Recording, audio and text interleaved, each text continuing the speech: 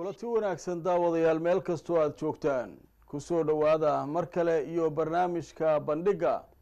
Barnaamijka bandhigga talaado walba waxaynu ku falanqaynaa arrimaha ka jira caalamka kuwa ugu waaweyn. Iyadoo maalmaha kalena aynu ku egno arrimaha gudaha dalka soomaaliya gaar ahaan dhinacyada siyaasadda iyo bulshada. Qodobada aanu barnaamijka idinkugu soo gudbin doonno waxaa ka mid ah sidee u aragtaa dowladda ruushka? Safiirkeedii lagu toogtay gelinkii dambe ee shalay. Magaalada ankara maruu ka qeyb galayay xarun bandhig farshaxan. Haddaba arrintaasi sidee u dareemeen dowladda turkiga iyo shacabka waddankaasi turkiga?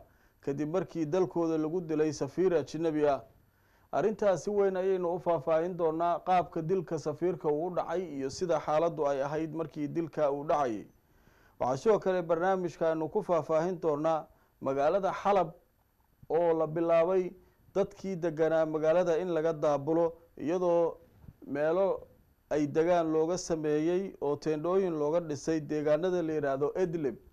Haddaba xalab xaaladeedu waa sidee? Iyadoo saameyn weyn ku yeelatay caalamka oo dhan iyadoo shalay ninkii toogtay safiirka uu ku qaylinayay ma iloobeyno xalab dadka aada ku laydeen haddaba arrintaa ayaynu iyanaa eegi doonaa waxaa sidoo kale aanu eegi doonaa dowladda jarmalka oo ka hadashay sida ay wax u dhaceen xalayto markii nin watay gaari weyn oo xamuula uu weerar ku qaaday oo gaariga uu jirsiiyey. Dad ka dukaamaysanayay suuq weyn oo ku yaalla caasimadda waddankaasi ee barliin dadka oo u diyaar garoobayay inay iibsadaan waxyaabihii ay ugu talagaleen ciidda masiixiga dhowr iyo toban qof ayaa ku dhimatay ku dhowaad konton kalena waa ay ku dhaawacmeen weerarkaas. Haddaba nin caynkee ayuu ahaa ninka weerarkaa fuliyey. Sideese xaaladdu ay tahay iminka jarmalka. Waxaa sidoo kale barnaamijka aynu ku eegi doonaa wararkii ugu dambeeyey waddankan britain. Haddii ay tahay dhinaca siyaasadda iyo kabixitaanka midooda yurub waxaa ku soo kordhay xaaladda trump oo shalay la leeyahay mar kale doorasho doorashooyin ayuu ku guuleystay maxay yihiin doorashooyinka shalayta uu ku guuleystay maxayse kaga duwan yihiin doorashooyinkii hore ee ugu soo guuleystay muusil ayaa sidoo kale barnaamijka aynu ku eegi doonaa ciraaq dagaalada ka soconaya. Daawadayaal sida caadada nooca barnaamijka waxaa igala qeyb kaata igala qeyb gala injineer axmed warsame abtidoon oo jooga magaalada sheffield ee waddankan britain waa mar kale daawadayaal iyo barnaamijka bandhigga. Haddaba daawadayaal barnaamijkeena waxaynu ku bilaabeynaa safiirkii waddanka ruushka u fadhiyey magaalada ankara ee xarunta waddanka turkiga ayaa la toogtay. Haddaba safiirka ayaa lagu soo waramayaa markii la tooganayay inuu ka qeyb galayay munaasabad markaasi farshaxan ah oo lagu casuumay oo uu kaga qeyb qaadanayay ninka toogtay ayaa la sheegay in aanu wax baqdina qabin markii uu toogtay kadib. Isagoo ninkaasi ku qaylinayay in uu yahay nin markaasi u dagaalamaya dadka reer xalab ee la leynayo wasiirka arrimaha gudaha ee waddankaasi turkiga oo shir jaraa-id qabtay dilka markii uu dhacay kadib ayaa ka tacsiyeeyey dhibaatada dhacday waxaana uu sheegay in dhibka dhacay uu yahay mid ku dhacay shacabka turkiga. Waxaana la sheegayaa ninkaasi in markii dambe laftirkiisa ninkii dilka geystay la toogtay. Wararkaa soo baxaya ayaa waxa ay sheegayaan in ninka dilka geystay uu ka tirsanaa ciidamada waddankaasi. Markii dilka uu dhacay kadib ayaa madaxweynaha waddanka turkiga video uu soo duubay. Waxa uu ku sheegay inuu aada uga xun yahay waxa dhacay islamarkaana uu la hadlay madaxweynaha waddanka ruushka valadimir putin. Erdogan ayaa sheegay in tallaabo laga qaadi doono. Arrimahan waxa ay ku soo aadayaan iyadoo shan bilood ka hor ay heshiis gaareen ama dhowaan ay heshiis gaareen iyagoo ka heshiiyey shan bilood diyaarad uu lahaa ruushka markii ciidamada turkigu ay soo rideen laguna eedeeyey inay ku soo dhacday waddankaasi ama ku soo xadgudubtay hawada waddanka turkiga wixii intaa ka dambeeyey waxaa bilowday heshiisyo ay gaareen madaxda kulamo qaatay iyagoo kulamadooduna ay ka dhaceen magaalada moscow waxaana ay ka mid ahayd heshiisyada ay isla gaareen in xiriirkooda uu sidii hore ku soo laabto. Waxay sidoo kale ku heshiiyeen arrinta waddanka suuriya in mowqif ay ka qaataan sidii wax looga qaban lahaa arrimaha ka jira xalab iyadoo taas wax badan iminka laga fahmay oo turkiga iyo ruushka heshiiskoodu ay qeyb ka ahaa dadka laga daabulayo iminka magaalada xalab. Waa tahay barnaamijka sidaan horey idinkugu sheegay waxaa igala qeyb galaya injineer axmed warsame abtidoon oo jooga magaalada sheffield ee wadankan britain. Injineere may maqleysaa waa tahay waxaynu barnaamijka ku bilaabeynaa arrintan safiirka la dilay ruushka safiirkiisa sidee loo fasiran karaa dunida?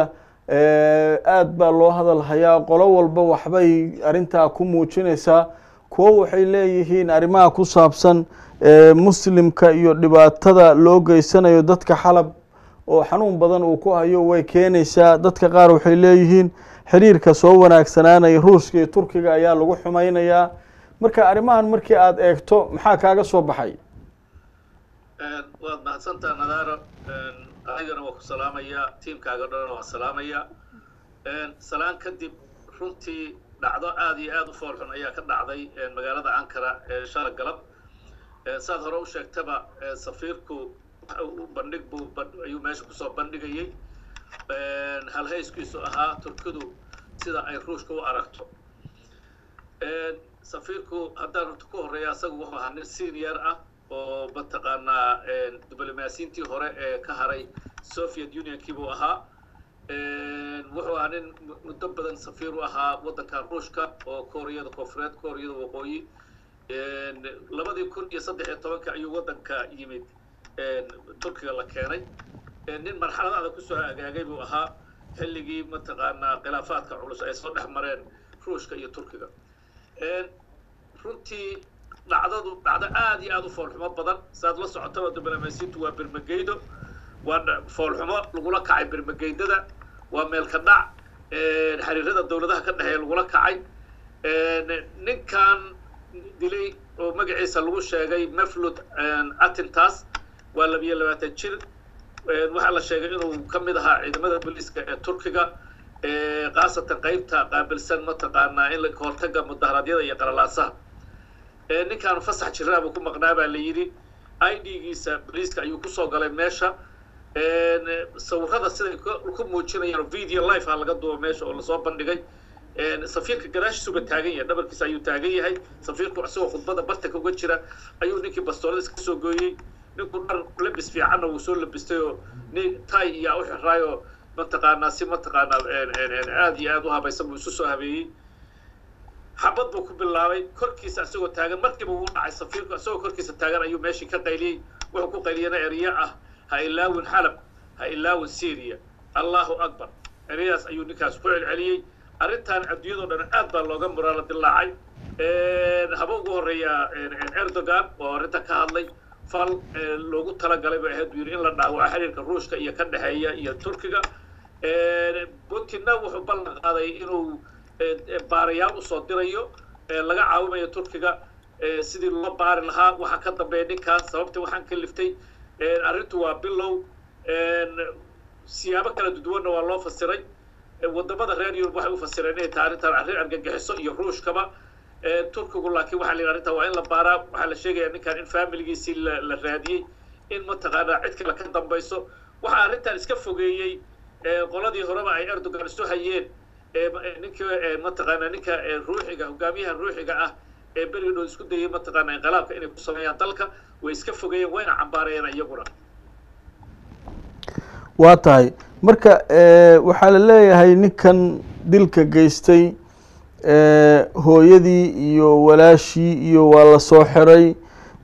Isagana waxaa la baarayaa hadda dadkii yaqaanay inuu bal kooxo argagixiso iyo xiriir la lahaa laakiin dad kale oo ay wareysteen telefishinada waddanka turkiga oo ninka garanayay waxay sheegeen inaanu argagixisu shaqo ku lahayn laakiin uu ka mid ahaa dadka ka damqanaya dhibaatadii lagu hayay magaalada xalab.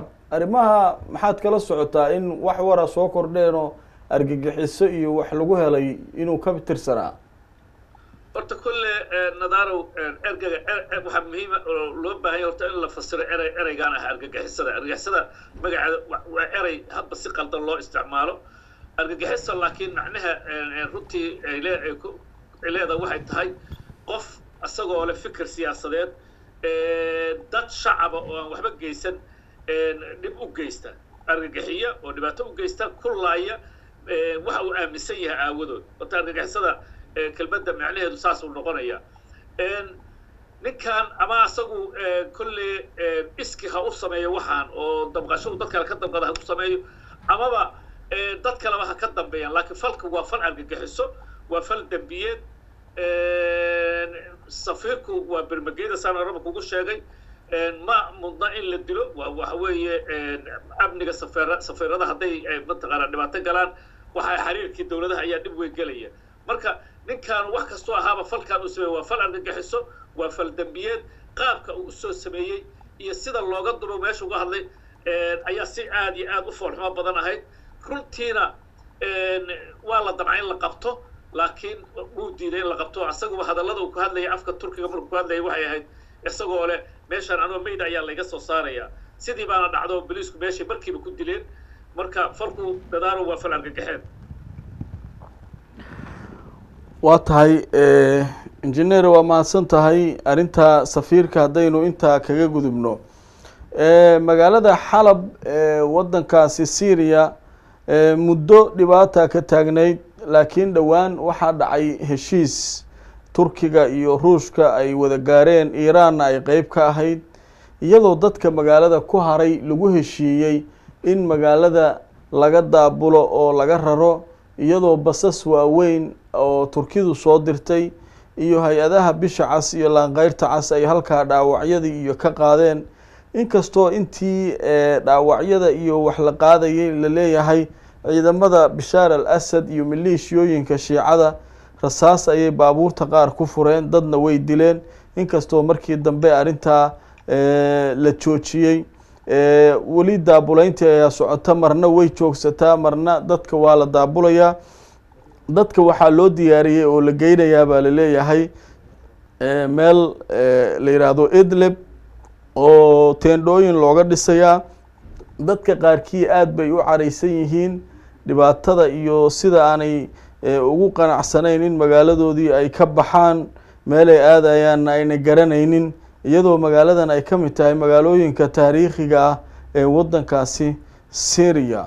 Waa tahay mar kale waxaan dib ugu noqonayaa engineer abtidon abtidon waxaa iiga warantaa magaaladan xalab dadkan la daabulayo. Maalinna waa la qaadaa maalin waa la joojiyaa maalin rasaas baa lagu furayaa. Maxay tahay meesha loo rarayo idlib dadka kan ma saasay ugu dhamaatay magaalada kuma soo noqonayaan miya? Maxaad kala socotaa heshiiskan meesha ka dhacay? Nadaalow horta intaanaan heshiiska xalab aanan kaaga warramin waxaan rabaa wax yar horta inaan taariikh ahaan magaalada taarikhdeeda wax yar ka idhaahdo. Horta magaalada xilib xalab waa magaalo aad iyo aad taariikh dheer u leh. Waana magaalooyinkii dunidan inta la og yahay la aas-aaso ugu horreeyey haddaysan ba ahayd tii ugu horreysay. Waxaa la sheegaa magaaladu ilaa toddoba kun oo sano inay jirto. Saddexda magaalo ee la magacaabo mar walbay ka mid tahay dimashik iyo jerisho waa magaalooyinka isku waktiga ahaa.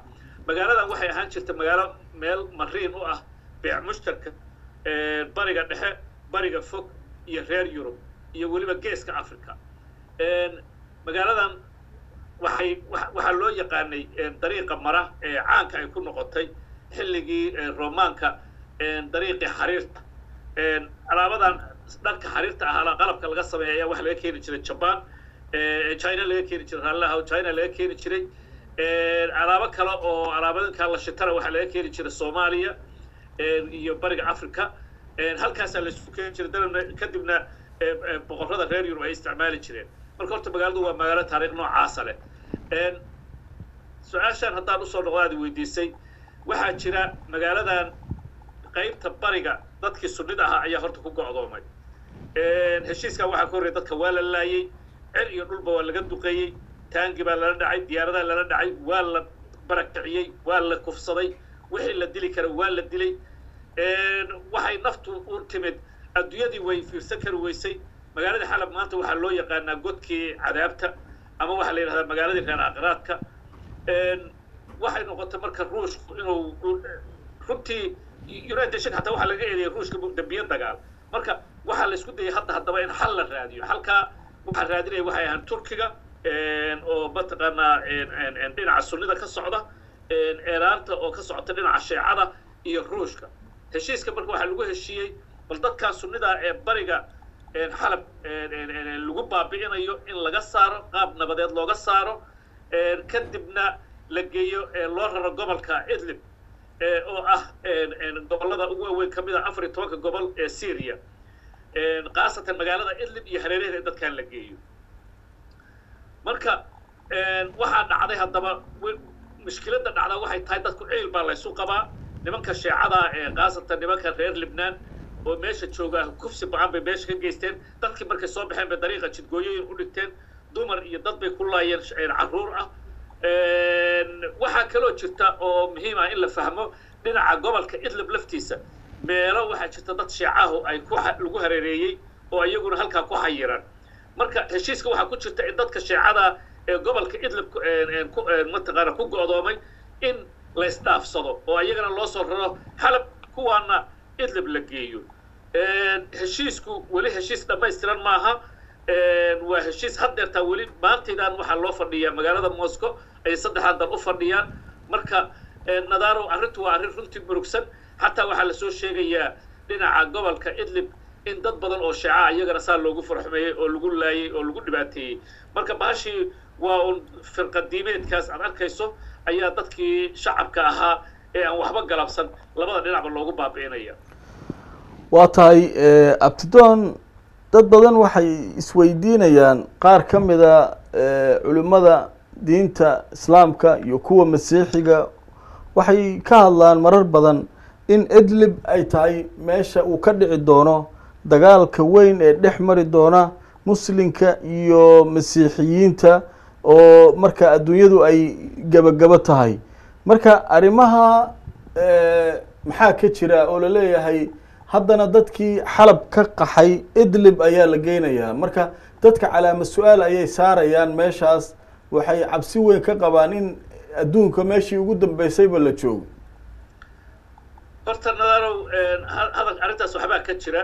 Dagaalkan syria ka bilowday horta dagaal istaagaya uma eka kooxahan sunniyiinta ahi iyo kooxaha sheecada ahina horta sheecadu waa dad habaysan oo waa nadaamsan yihiinoo waa isku dubaridan yihiin oo nimanka waxay gurmad bay waxay ka heleen xaggan iyo libnaan oo mataqaanaa nimankii xisbullah ayaa meesha jooga. Gurmad waxay ka heleen xagga iyo ciraaq oo mataqaanaa nimanka ciraaqiintaha meesha way joogaan. Waxa dhanna waxaa hogaaminaya oo isku dubaridooda iyo dagaalgelintooda wadaahi waa ilaalada kacaanka eeraan marka dad habaysan weeye waana sababtaas sababta ay mataqaanaa uga guulaysteen inay magaaladii xalab ay gacanta ku wada dhigaan inkastoo isan dee magaalada lahayn hadda ay baaba' tahay. Laakiin haddana waxa weeye waa symbolic victory. Waa waa guul mataqaanaa u muuqata aad iyo aad u weyn oo asad u soo hoyatay. Haddaba dagaalka kama dambaysta ee aad iyo aad u culus oo faraha lagaga guban doono wuxuu ka dhici doonaa magaalada idlib gobolka idlib buu ka dhici doonaa qaasatan magaalada idlib. Dagaalkaas kama baaqanayaan horta meesha dagaalku gaarana kama maqno waa kuwa ruushku ka dagaalamayaan madaxweynaha cusub ee la doortee ee waddanka maraykankuna waa ka doobinayo le mataqaanaa erayada hadda ka soo baxaya maantadan ay tahay argagixisada islaamka ah. Waa in la cirib tiraa oo la xidida siibaa marka nimanka aan habaysnayn ee kala daadsan dagaalkana ku jira horta waa nimanka sunniyada. Sunniyiinta waxaa taageeraa horta ugu weyn waxa weeye waddamada qaliijka iyaguna dad ciidan iyo man power wax dagaalamo leh ama aqoon dagaal leh ama mataqaanaa wax u tari kara maaha laakiin darkii bay u shideen meesha waxaa jooga turkigu turkigu anigu waxa uu badbaadin doono intay la eg tahay ma aqaan maalinta ay iskaashigu yimaado ka dhexeeya ruushka iyo maraykanka. Donald trump wuxuu durbaanka u tumaya waayahan dambe oo dhan ba saan hadda ka hor ba xataa halka uga soo gudbinay in uu doonayo inuu ruushka ku taageero burburinta laga wado syria iyo tan ka socota ciraaqba. Marka arrintu way u eg tahay yoomalqiyaama waa soo socda. Hadda idlib waxaa ka dhacay xalab waa yoomalqiyaame way rogmatay rogmashadaasuna waxay noqon doontaa mid sii socota duniduna ku faafi karta. Waa tahay arrintan suuriya iyo ruushka iyo intaa haddaynu ku joojino markan waxaynu u gudbaynaa daawadayaal jarmalka magaalada xarunta u ah barliin oo arrin kale oo yaab leh ay ka dhacday xalayto xalay fiidkii ayaa la leeyahay nin gaari xamuula wata ayaa waxa uu weerar ku qaaday dad ka ka dukaamaysanayay dukaamo ku yaalla magaalada iyadoo weliba ay ahayd meelo laga iibsanayay waxyaabaha ciidda masiixiga loogu talagalay. Gaariga ayuu jiirsiiyey dad badan laba-iyo toban qof ayaa la sheegay inay goobta ku dhinteen. Ku dhowaad konton kalena dhaawac uu soo gaaray iyadoo qaarkood dhaawacooduna uu halis yahay halkaa waxaa tegay ciidan fara badan oo booliiska waddankaasi ah. Waxaa sidoo kale goobtaasi tegay saraakiil kale. Dhammaan baaritaan ayaa hawsha laga wadaa. Goordhow haweeneyda ra'iisul wasaare u ah waddanka jarmalka ayaa shir jaraa-idu ay qabatay. Waxay kaga hadashay in qofka dhibaatada geystay uu yahay qof qaxootinimo ku joogay waddankaas. Baabuurkana uu ka diiwaan gashanaa waddanka poland sida la leeyahay. Arrimahaas ayaa laysla dhex marayaa iyadoo dadka jarmalka ay isweydiinayaan sida ay wax u socdaan. Iyadoo dhacdo tan la mid a dhowaan ay ka dhacday magaalada la yihahdo nice ee waddanka faransiiska halkaasoo siddeetan iyo lix qof dad ku dhow ay ku dhinteen markii nin uu sidan oo kale gaari uu marsiiyey. Haddaba dad badan oo waddamada reer galbeedka ku sugan ayaa cabsi weyn waxay ka qabaan arrimahan iyo sida ay ku soconayaan iyo xaaladdu sida ay tahay iminka iyo cabsida laga qabo baabuurta in loo isticmaalo isu soo bax kasta ama meelaha dadku ay ku badan yihiin. Waa tahay injineer abtidon waxaad laftirkaa u ka mid tahay dadka muddo ku noolaa waddanka jarmalka. Arrintan oo kale ka waran wargeysyada jarmalka dowladda sidee u arkaa dhacdadan? Nadarow horta arrintan horta arrin aad iyo aad u argagax badan bay ahayd. Arrin waxay ahayd dadkii jarmalka aad iyo aad uga nixisay. Meesha ay dhacdadaanu ka dhacday waa magaalada berlin bartankeeda mataqaanaa wadnaha magaalada berlin xaafadda charlottenberg la yidhaahdo suuqa weynaa ee kudaamka iyo waxaa ku yaalla dhulkii laga dukaamaysan jiray waxaa ku yaalla xaafaddaas meesha dhacdadaanu ka dhacday meesha adduunyado dhan ay isugu timaado magaalo berlin laga daawado wararka soo baxaya waxaa ugu daran horta dadkii shacabka ahaa oo u soo banaan baxay xafladihii christmaska oo maalmahan fooda nagu soo hayo mataqaanaa waddanka jarmalkana wuxuu dhaqan u leeyahay oo kaga duwan yahay ingiriiska xilliyada christmaska dukaamaysi aan caadi ahayn baa laga sameeyaa banaanka wax walba la soo dhigaa. Marka ummadoo dhan baana isugu timaada waxaa la leeyahay baabuurku waa baabuur weyn oo qalabkan biraha iyo waxaa siday baabuurka boland shirkad bolandaa lahayd ninka shirkadda iska leh laftiisa ayaa ka hadlay wuxuu yidhi baabuurka ina adeerkay baa waday buu yidhi. Nin ina adeerkay ayaa waday. Shalay afartii galabnimo ayaana iigu wardambaysa u kala go'ay mataqaanaa isgaarsiinta ayga go'day waxaa la sheegayaa baabuurka ninka maydkiisi in laga soo dhex helay. Hadda mar dhow waxaan maqlayay ninka habad baaba ku dhacday ninkan baabuurka soo kaxeeyey inuu ahaa nin mataqaana qaxootiya oo bishii february sanadkan horaantiisa ahaa waddanka jarmalka yimid kana soo galay dhanka iyo mediterraneanka. Ninkan asalkiisa waxaa lagu sheegay inuu yahay nin bakistani ah. Waxaa isla markiiba ninkii waa la qaaday.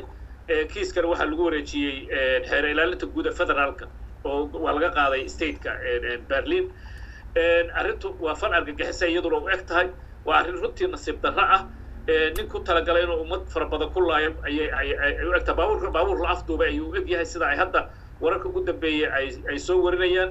Saakay waxaa la yidhi ciidamada jarmalku waxay weerar ku qaadeen meel xero ah oo qaxootiga oo ninkaan uu deganaa laftiisu oo mataqaanaa ku taalla templehof meel la yidhahdo airpor airbortka labaad ee magaalada berlin agtiisa ku taalla ayaa weerar lagu qaaday. Baaritaan baa la wadaa arrintu waxa weeye reerkay taagan tahay mataqaana high alert baa la geliyey.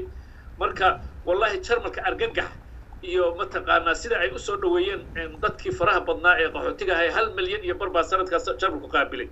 Iyo waxa hadda ka soo baxay waxay u tahay ururada urur ururka cusbaan hadda kahor ka hadlayne mataqaanaa bagida yiraahe anti islam movement la yidhaahda. Ayay waxay u tahay mataqaanaa wax dahab ah oo ay dadka ku kiciyaan muslimiinta degan jarmalka. Marka runtii masiibo u soo hoyatay weeye dadka islaamka ah ee jarmalka degan gaar ahaan guud ahaanna reer yurub oo dhanba. Marka waa nasiib darro meeshaa ka dhacday nadaaro.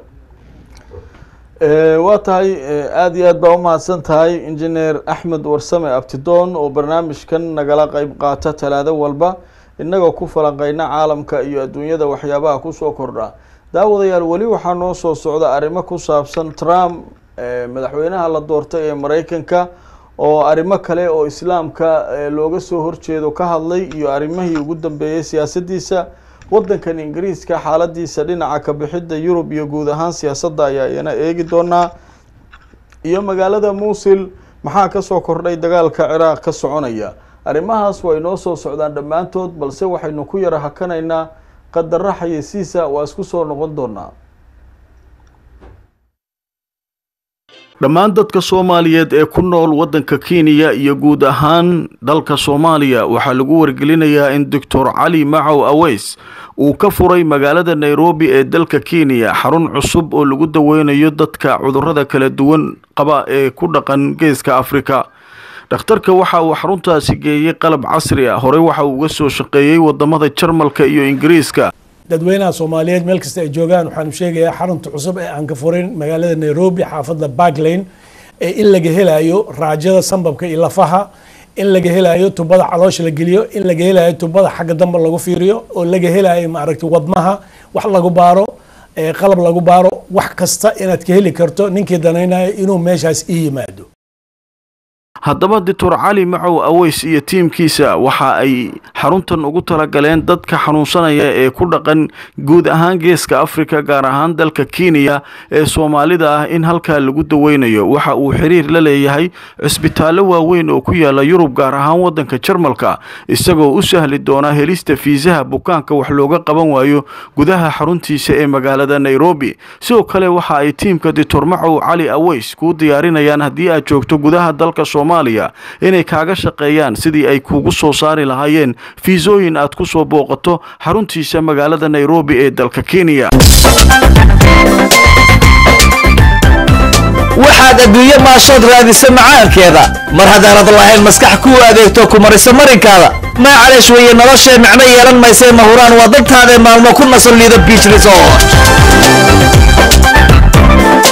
quruxda dhismahan ku maquurshay waa guryo mugweyn oo markaad saa u dhex istaagto. Fadhiyo maamuus leh sariiruhuna malaayiin iyo ka mudan kuwii hore. Bal milicsoo dheeho mataanihiis caruusiyo habeenadooda malabka waa halkay ku wada miisi lahaayeen biich resort.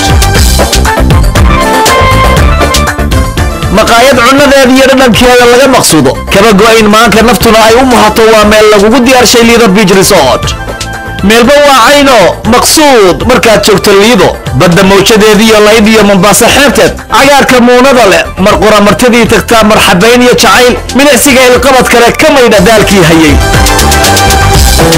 Liido biich resort adeegga aad ka helisid waxaa ka mid ah. Internet xawaaro sareeya iyo erboodka lagaa soo qaado laguguna celiyo. Intaad joogtidna lagugu soo damaashaad siiyo goobaha talxiiska iyo ugaadha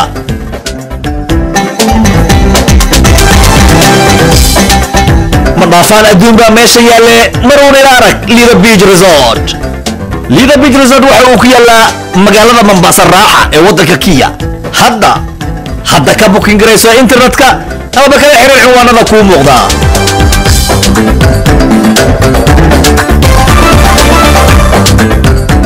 daawooyinka formula ten markuu jeermis daayimo nudaha daciifo jidhku wuu dumaayo uu durkaa xalkiisuye xanuunkaagu darajada. Intuu daawo leeyahay waa iga dardaarane orodoo danayso formula ten doono. Kuwa dunida maray oo shaybaadh ku daaloo dalal badan ka quustiyo dad buu cudurro dayrale rabbi kaga daweeye waa iga dardaarane orodoo danayso formula ten doono. Qaar shalay la dadayo muddo dheer la durayo kiniin lagu daldalayo kaba sii daraaya. Doorkay bilaabeen caafimaad dareemo farxadda aynsiiyo damaashaad ku noole dariiqay mareen bay ku jirtaa dantaadu adiguna ku daya oo formula ten doono. Doctor waaya aragoo aqoonaan dadka lahayn weyna deequsiiyaa kuu soo diyaarsho fursad weeye dahabe. Adigu haysu diidine orodoo danayso formula ten doono. Ducadaadii maantaa dalabkeedii yimiyo dabiib ee bakeenaa duleedkaaga yaalle dembi ha iska gelinoo ha dulmihi naftaadoo ha dayicin jidhkaage. Allah! Waa iga dardaarane cudurradan ku daashaday. Intaanay ka sii darin orodoo danayso formula ten doono. Daawooyinka formula ten waa daawooyin ay caafimaad ka heleen bukaankii isticmaalay. Xarumaha ugu waaweyn kumbaniga yuukha ee aad ka helayso formula tenna waxaa ka mid ah xarunta nairobi islii seven street london muqdisho somalilan hargeysa iyo burco iyo weliba puntland. Hadba halkii kuugu dhow ee aad joogtana kala xidhiidh telefoonnada shaashadda kaaga muuqda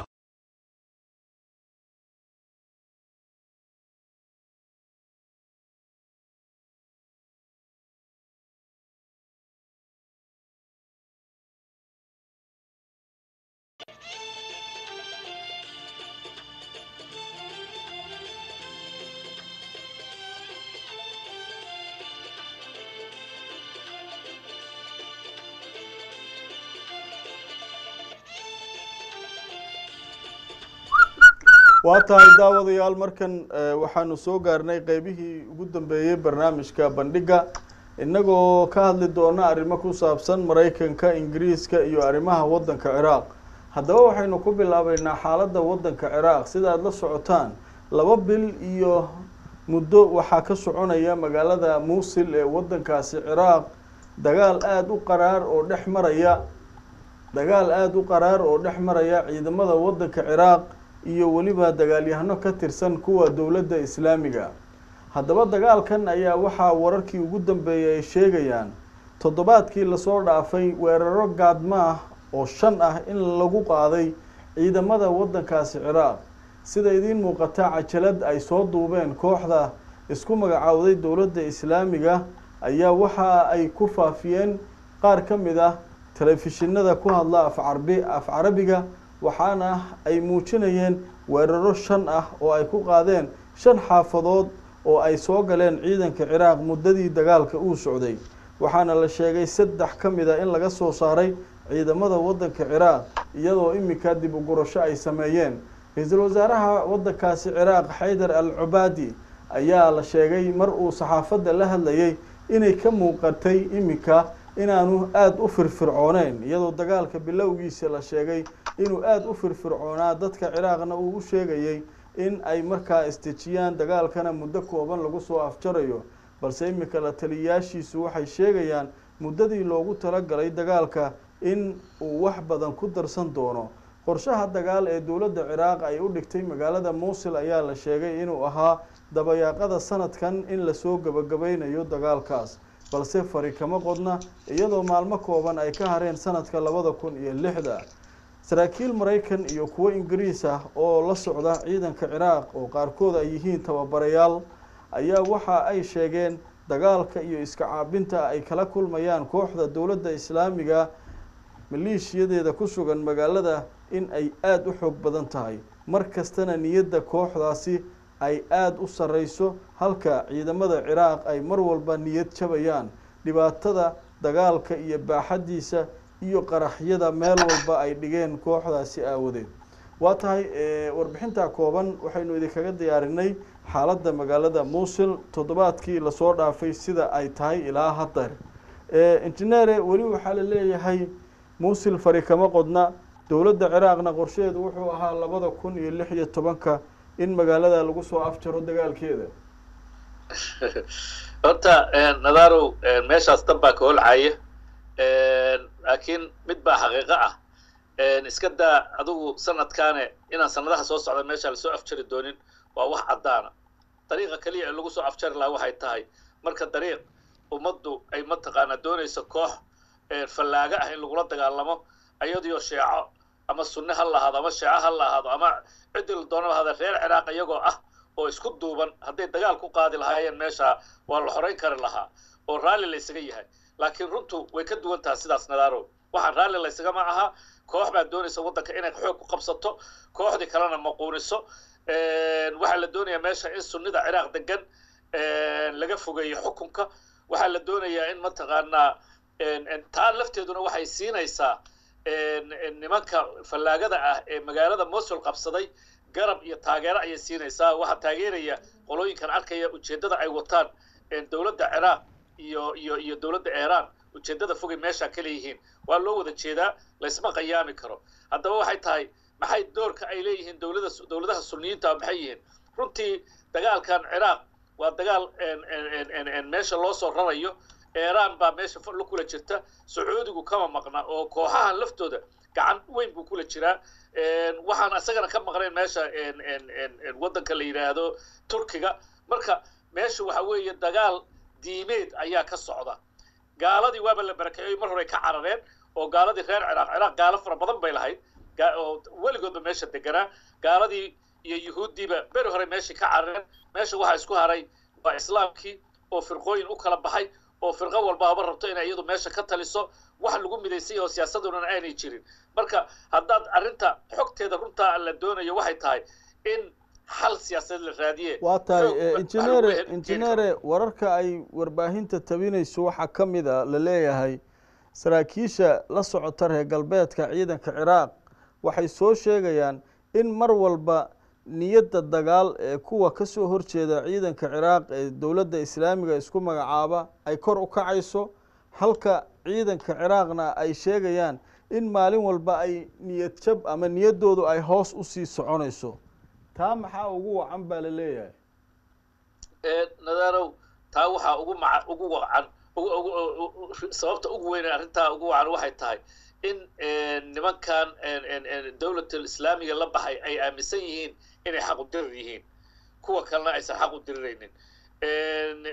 Ha jirto oo in badan waa ajnabi oo dabadahay ka yimaadeen. Meel ay ku noqdaan oo dambaana ma jirto. Ha jirtoo kale in mataqaanaa haddii meeshaan lagaga adkaado ay og yihiin in la tirtirayo ayaga dhan oo meel dambe u noqdaan aysan jirin. Marka waxyaabaha niyaddooda aad iyo aad u dhisaya waa waxyaabaha noocaasa waa dad xag jir ah laakiin oo runtii marka laga hadla xag jir ah sida ay kuwan kale sheecadahuba ay xag jirka u yihiin oo labada qoloba qolo qolo mataqa ka liitaysan jirin laakiin nimankan waa niman la soo aruuriyey oo laga keenay ilaa iyo mataqaanaa bariga iyo koonfurta ciraaq laga soo aruuriyey dhulku dhulkoodii maaha. Dadku dadkoodii maaha. Ciiddaa la dagaalamaysa dhulkaa la dagaalamaya dadkaa la dagaalamaya meelay ku gabadaan firxadkoodu heli maayaan. Marka cillado fara badan baa jira oo ninku markuu dhulka asaga uu ku dagaalamaya uu ka duwan yahay. Meeshaana sunnidii ciraaq baa ka dagaalamaysa. Waxaa ka dagaalamaya nimankii bacadkii baa ka dagaalamaya ilaa waagii saadaam xuseen dagaalka ku jiray. Marka meesha majoritka dad dagaalama waa ciraaqiin ma aha dad qaliijka ka qaliijka dad kama waxa ka yimaada waa shaksiyaad yar yar. Hadday ugu bataanna dadka meesha isugu yimid oo banaanka ka yimaada waxaa lagu qiyaasaa ilaa saddex kun. Laakiin dadka rasmiga ah ee rigliga meesha u dagaalamaya waa dadkii meesha u dhashay. Taa weeye tan u keenaysa siinaysana mataqaanaa kalsoonida ah inay hoygooda aan lagaga adkaan karin. Waa mahadsan tahay injineer abtidoon arrinta ciraaqna intaa haddaynu ku dhaafno haddaba wixii soo kordha ciraaq arrimaheedana barnaamijyadeena dambe ama talaadada soo socota haddii alla idmo ayaanu barnaamijkan ku falanqeyn doonaa. Markan waxaynu eegeynaa trump iyo siyaasadihiisa waa madaxweynaha la doortay ee dalka maraykanka donald trump oo la leeyahay iminka doorasho kale oo dhacday xalay ayuu haddana ku guuleystay trump waxaa sidoo kale la leeyahay waqtiyadii ugu dambeeyey ama saacadihii ugu dambeeyey hadaladiisa waxaa ku jiray islaamka iyo argagixisada iyo dhibaateynta in layska qabto. Arrimahaasna waxa ay mar kale murjinayaan baa la leeyahay dadka muslimiinta ee dunida ku nool waa tahay abtidoon doorashadan xalay uu mar kale ku guuleystay trump. Maxay tahay? Ma noo sharaxi kartaa? Waa su'aal aad iyo aad u fiican. Horta waddanka maraykanku wuxuu ka kooban yahay conton state iyo washington d c. State state baana doorashada loo galaa. Waqti baa la qabtaa doorashada laakiin state state baa loo galaa. State walbahaba wuxuu leeyahay tiro go-an oo la yidhaha electoral college tusaale yar haddaan idin soo qaado stateka la yidhahda california waa stateka ugu electoral college ka badan. Electoral college waxay ku xiran yihiin hadba tirada gobolku degan gobolba gobolku ka tiro badan yahay waa ka electoral college badan yahay. California waxay leedahay konton iyo shan texas waxay leedahay soddon iyo sideed new york waxay leedahay labaatan iyo sagaal florida waxay leedahay labaatan iyo sagaal alabama waxay leedahay sagaal alaska saddex bay leedahay fairmont saddex bay marka sida loo kala tiro badan yahay ayay horta electoral college ku badan yihiin. Maraykanka waxay doorashadiisu waxay ku shaqaysaa qaab la yidhaahdo winner take all. Kan hadduu hal cod ku dheeraado waxoo dhan ba asagaa isku jabsanaya asagaa qaadanaya. Marka stateyadii doorashadoodii uu statekii california markuu ku guulaysto konton iyo shantii cod asagaa la tegaya. Ama iyada gabadha mataqaana qofka kale la tartamaya la tegaya. Hadduu mataqaana texas ku guulaysto electoral college o dhan asagaa la tegaya haddaba doorashadaas way soo dhammaatay. Waa lagu kala adkaaday. Donald trump electoral college ugu badnaa asagaa helay. Waxaa jirta marka electoral collegeka laftooda. Nimankii waxaan awoowayaasha ka ahaa ee amerika soo asaasay waxay ku fakereen kaba soo qaad haddii doorashada nin qarriban oo aan meesha u qalmin oo aan ummaddu rabin hadduu si doonanaba ha noqday ama musbaasku soo bax uu soo bax maxaa la samayn karayaa? Waxay u sameeyeen marka wax alternative ah oo taa ka duwan oo ah in electoral collegeka laftoodu ay doorasho galaan saddex week afar week ka hor inta calaamasaarka ah. Marka doorashada hadda dhacda waa doorashada electoral collegeka. Runtiina may dhicin ilaa hadda in electoral collegeka ay diidaan shaksigii doorashada ku guulaystay may dhicin. Electoral collegeka saan kugu soo sharaxay waa tirooyin codad ah oo ka imaanaya stateyada shalay ahayd doorashadii doorashadaasna donald trump baa ku guulaystay oo waxba kamay bedelin doorashadii hore. Waa tahay siyaasadiisa ka waran maxaa soo kordhay? Ninkan inta badan saxaafaddu aad bay u jecel yihiin. Mar walba hadallo iyaga u gadmahaya ayuu ayuu tuuraa. Donald trump horta hal ogow ka sokow inuu nin milyoneera yahay ka sokow inuu yahay nin mataqaanaa aabihii milyoneer ahaa donald trump maalintuu lix iyo toban sano jira aabihii hal milyan oo dollar buu siiyey. Oo yiri bicmishtar ku bilow marka horta life uu ku soo koro waa dareemi kartaa intaa ka sokow waa nin qaba fikirka xagjirka caddaanka. Nimanka caddaanka ee xagjirka ee aaminsan inay adduunkan ayagu leeyihiin waxa kalena ay yihiin raacyo iyaga u adeegaya inay yihiin ayuu ka mid yahay. Laakiin waxaa aad iyo aad loola yaabay oo ilaa xalay ilaa saaka aad saxaafadda uga hadlaysay qaabka oo uga hadlaya waxyaabaha dhacdada adduunka ka dhacaya internationalka ah qaab madaxweyne ugama hadlo lama tashto ragga mataqaanaa sirdoonkiisa. Lama tashto siyaasiyiinta ragga maaragtay la taliyaasha isaga uu soo aruursaday twitterka ubu ku cararaya ninkii twitterka wax ka haystaan. Maanta xalay wuxuu yidhi argagixisada islaamka ah waa in la cerib tiraa waa in xididada loo siibaa. Markii uu maqlay safiirkii lagu dilay turkiga. Markii uu maqlay baabuurkii lagu qarxiyey magaalada berlin. Hadda ka soo hadlaynay erayada uu ku hadla waa taas. Marka walwalka weyn ee dowladdii mataqaanaa maraykanku ay qabaan waxay tahay. War ninkan isagoon cidna la tashan noocan u hadlaya erayada uu ku hadlayaana ay yihiin erayo xanaf leh ee xaguuna geyn doonaa. Waxaa kaloo jira nadarow aan rabaa inaan halkan ka soo bandhigo. Waxaa jira rag wasiiro ah ama mataqaana xogeeyayaasha isaga oo magacaabay rag fara badan oo fara ku godan tahay. Raggaas oo dhanna waxaa loo baahanya in la marsiiyo senatarada loo geeyo guddiyo senatarada la horgeeyo su'aalo la weydiiyo raggan ma u qalmaa positionkan inta u badan ee trump ilaa hadda uu soo magacaabana waxay u badan tahay inaanay marin oo lagu soo wada celin doono intooda badan. Qaar waa marayaan laakiin inta badan in lagu soo celin doono fikir ah ayay mataqaanaa ragga siyaasiyiinta indha indheeya ay runtii maanta waa tahay engineer aad baa umahadsan tahay ugu dambeyntii arrimaha waddankan britain ayaanu bal falanqeyneynaa arrimaha waddankan muddooyinba waxaa jiray in ay ishayeen madaxda waddankan gaar ahaan dowladda ay hogaamiso theresa may iyo wasiiradeeda iyadoo inta badan waxyaabaha la isku hayo ay ka mid tahay siyaasadda hoggaanka waddankan iyo qaabka uu noqonayo waddankan marka si rasmiya uu uga baxo midooda yurub qaabka looga baxayo iyadoo dhowaanahan maxkamado iyo doodo arrimaha ku saabsan ay socdeen siyaasiyiin caana oo waddankan ka tirsan ama xilal muhiima soo qabtay ayaa iyaguna faker ahaan arrimaha ku kala duwan. Marka waxaa lagu tilmaamay xiliyadii uga adkaa siyaasadda waddankan uu soo maro weliba midda gudaha iyo midda dibadda oo isla socoto oo isku xiran ah. Marka arrimaha waxaan jeclahay bal abtidoon wixii ka soo kordhay inaan bal wax ka weydiiyo. Abtidoon arrimaha waddankan maxaa soo kordhay nadarow horta ingiriiska siyaasaddiisa waa saad hadda u tilmaantay. Meel aanay weligeed marin bay martay. Waa aad iyo aad bay runtii u baaba'san tahay. Ingiriiska oo ku caan baxay waddan caan siyaasadda ku ahaa ah. Waddan ahaa waddamada hoggaanka adduunka ka ah. Maantana wax laga weydiiyo. Meel kasta oo adduunka ka mida oo wax ka dhacaan ingiriisku oo ah waddanka laga weydiiyo maanta asaga siyaasaddiisa isku dhexyaac ka taaganta. Isku dhexyaac weyn baa jirta xaggii dhaqaalahana dhulku ayuu yaalaa ingiriisku sidiisaba xagga dhaqaalaha markaan horta ugu horreysaba aan eego saddex rugni buu ku taagan yahay. Rugniga koowaad waxa weeye dhaqaalaha iyo beecmushtar ka dhexeeya ingiriiska iyo european unionka. Rugniga labaad waxa weeye waa kan asaga ee maraykanka ka dhexeeya. Rugniga saddexaadna waa kan uu bariga dhexe ka dhexelo oo waddamada qaliijka iyo asaga ka dhexeeya. Carqalad badan baa taalla. Tan ugu weyn waa european unionka waana la isku hayaa. Maxaa hadda ka cusboonaada oo hadda cusub waxay tahay kow european unionka ay taagan yihiin ingiriisku hadduu rabo inuu ka mid ahaado suuqa horta heshiiska hore waa inuu fuliyaa. konton bilyan oo waa konton kun oo milyan oo pound lacag ah in laga rabo horta ingiriiska. Heshiiskaas waxa weye waa heshiiskii labada kun heshiiskii hadda david cameron saxiixay european unionka oo ilaa labada kun soconaya. Horta heshiiska waa inuu fuliyaa. Waxaa kaloo la leeyahay oo hadda soo baxay oo ninka matqa wasiirka ka bixisa yurub uu sheegay baarlamaanka laba cisho ka hor uu ka dhex sheegay in ay suurtagal tahay in lacagtaas bixinteeda iyo ka mid suuqa aan lacag ay ingiriisku bixiyaan. Taas waxay dhabar jab weyn ku tahay dadkii doonayay inay ka baxaan yurub dadkii u codeeyey haddii maanta la yidhaahdo weli yurub lacag baan ku sii bixinaynaa.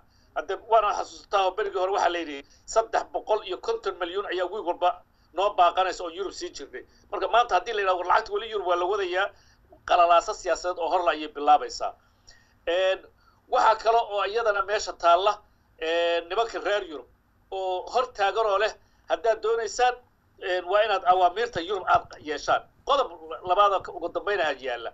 Qodobkaas wuxuu yahay theresa may maalin dhowta waxay tagtay european unionka tagtay. Aad baa loogu bahdilay waxa la hadlay weyse raggii reer yurub ayagaa sheekaysanaya. Way yaxyaxday erey baa ka soo fakaday ah dadka reer yurub ee ingiriiska degan waxa weeye waa ku gorgortamaynaa ereygaas gudahaana waa laga xumaaday european unionkuna waaba la yaabeen. Waxay tiri waa ku gorgortamayaa dadka reer yurub ee ingiriiska degan ee taa la socda. Marka nadaarow arrinta ingiriisku ma caga dhigan umana ka mid dhow maalmahan ciga dhigan doonta waa tahay injineer axmed warsame abtidoon aada iyo aad baad u mahadsan tahay. Injineere waa ku salaameynaa waktiga ayaa noo saamixi waayey inaan barnaamijka sii wadno. Daawadayaal waxaan soo gaarnay barnaamijkeena gabagabadiisa. Anigoo nadaare ayaa idinla socodsiinayey barnaamijka waxaa igala qeyb qaata talaado walba oo aan u mahad celinayaa injineer axmed warsame abtidoon oo ka mid ah aqoon-yahanka soomaalida ee falanqeeya arrimaha caalamka isagoo jooga magaalada sheffield ee wadankan britain barnaamijka waxaa noo farsameynayay cabdifataax shirwac iyo g b. Inta aan mar kale kulmayno sidaa iyo nabadgelyo. Wasalaamu calaykum waraxmat ullaahi wabarakaatu